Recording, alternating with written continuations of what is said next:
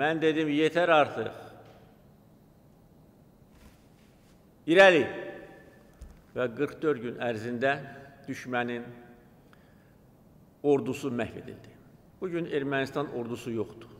Müharibə ilə bağlı müharibə dövründə mən əziz xalqımı müntəzəm olaraq məlumatlandırırdım və e, müharibənin e, gedişatı xalqımızın gözü qabağında e, keçirdi və müharibədən sonra bəzi əməliyyatlar haqqında, bəzi qərarlar haqqında müəyyən məlumat da verilir. E, yəni bu məsələyə çox vaxt ayırmaq istəmirəm.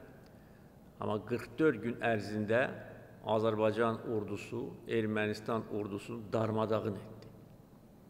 Bizim qəhrəman əskər və zabitlərimiz Azərbaycanın gücünü göstərdi. Düzgün planlaşdırılmış və həyata keçirilmiş texniki imkanlardan istifadə edərək qəhrəman övladlarımızın qəhrəmanlığına, rəşadətinə söykənərək biz mümkün olmayanı etdik. Düşməni məhv etdik. Düşmən ağ bayraq qaldırdı. Düşmən diz çöktü. Və şəhər kətlərimizi 300-dən çox şəhər və kətlərimizi işğaldan azad edəndən sonra qədim Azərbaycan şəhəri hamımız üçün doğma olan Şuşanı azad edəndən sonra və ondan sonra bir çox kəndləri azad edəndən sonra düşmən tam təslim oldu. Kapitulyasiya aktına imza atdı. Məcbur oldu və digər işğalda olan torpaqlardan geri çəkilmə məcbur oldu. Müharibə arxada qaldı. Müharibə bizim gücümüzü göstərdi. Əyilməz iradəmizi göstərdi birliyimizi göstərdi. Müharibə rəmzinə, qələbə rəmzinə çevrilən dəmir yumruq öz gücünü göstərdi. Bu həm birlikdir, həm gücdür. Cəmiyyətimizdə birlik də var, ölkəmizin gücü də var və həmişə olacaq. Və əgər kimsə Ermənistanda bugün revanş hissi ilə yaşayırsa, böyük səhv edir. O 44 günlük müharibəni onlar heç vaxt unutmasınlar. Bundan sonra əgər kimsə Azərbaycan xalqını təhqir etməyə çalışsa belə, elə dərsini alacaq ki, elə dərsini alacaq ki, o 44 günlük müharibə yalan, yalan olacaq onun qabağında. Azərbaycan Ermənistanı məğlub etdi. Bunu bütün dünya gördü, dünyanın gözü qarşısında bu baş verdi. Heç kim bizi dayandıra bilmədi. Demişdim ki, sona qədər gedəcək. Tarix versinlər bizə, tarix versinlər.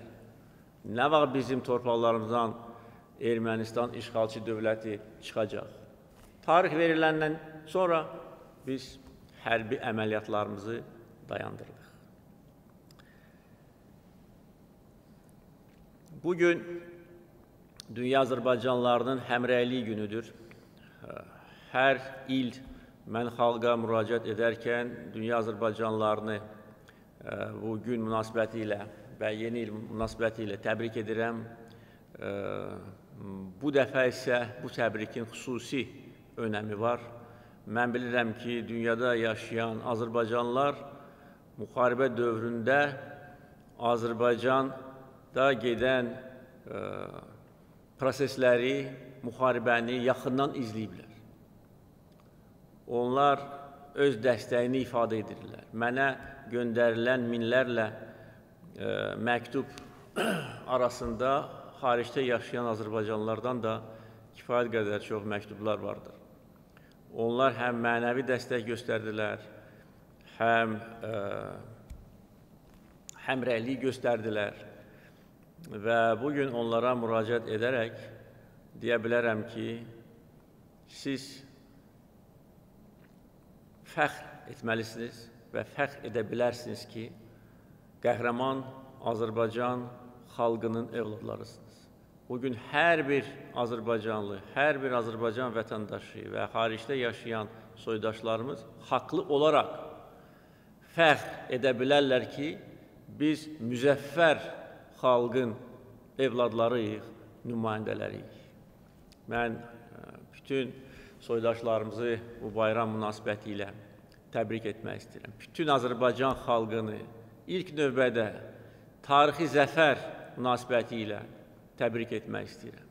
Gələcəkdə bizi böyük işlər gözləyir, ölkəmiz üçün yeni dövr başlayır, quruculuq dövrü, inkişaf dövrü, torpaqlarımızın ə, e, bərpası ə, e, günləri bizi gözləyir. Bu dövr şərəfli dövr, dövr olacaqdır. Baxmayaraq ki, düşmən işğal edilmiş və azad edilmiş torpaqlarda hər şeyi dağıdıb, biz bütün şəhərlərimizi bərpa edəcəyik, kətlərimizi bərpa edəcəyik, cənnət yaradacağıq Qarabağ bölgəsində. Bizim xalqımız buna layiqdir. Bizim xalqımıza qələbə yaraşır və qələbə həmişə bizimlə olacaq. Əziz bacı qardaşlarım, sizi yeni il münasibəti ilə, dünya Azərbaycanlılarının həmrəylik günü münasibəti ilə ürəkdən təbrik edirəm. Bütün Azərbaycan xalqını böyük zəfər münasibəti ilə təbrik edirəm.